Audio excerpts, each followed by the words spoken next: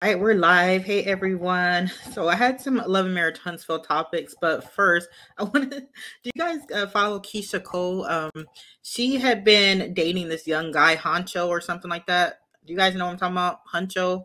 I don't know how you pronounce his name because it has an X in it. But anyways, as you recall, Keyshia Cole was dating Hunxho, right? So like recently he did a live. I don't know if I could find it um, really quickly, but this literally will take one minute. But he recently had did a live. Here it is, and I'm gonna just share my screen with you guys because I was just gagging on this tea just now.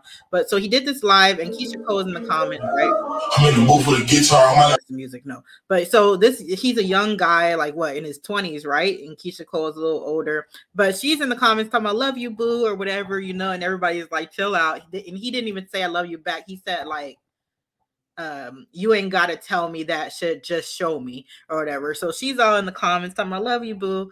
And I was like, oh my gosh, she's so embarrassing when she gets into a relationship, right? So then now, fast forward to now, 17 minutes ago, um, he's posted up with some other woman or whatever, um, gloss up. She shares some pictures. I guess they're having a recent music collab, but they're all, you know, booed up or whatever.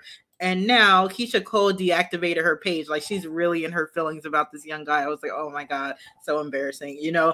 Um, and it seems like she always has bad luck with men. Like, oh my gosh. But, anyways, I just wanted to come and talk to you guys.